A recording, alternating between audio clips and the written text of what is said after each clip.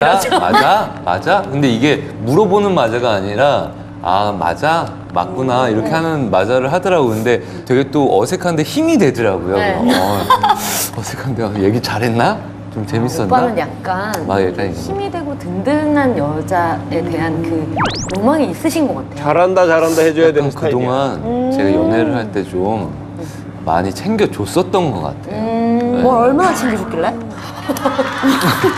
우리 과거 얘기를 저렇게 진웅이 너는? 뭐가? 아니 나 남자 얘기만 나오는 거. 애가 그냥 몰라 왜, 왜 그래? 아니 아니야 아 진영이 무슨 안 좋은 과거가 있어요 남자에 대한 예?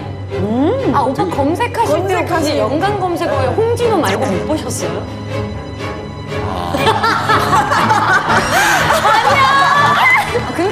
뭐 진영이도 쿨하게 얘기했었고 맞아. 많은 분들이 아는 거고 음, 사실 맞아 그냥 친했던 거잖아요. 아 맞아요 네.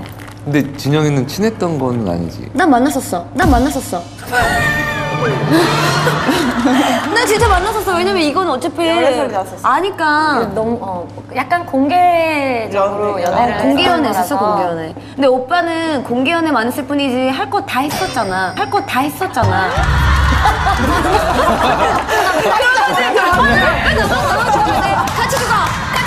같이 죽어! 아, 왜, 왜 화를 내? 왜 화를 내? 같이 죽어! 같이 죽어!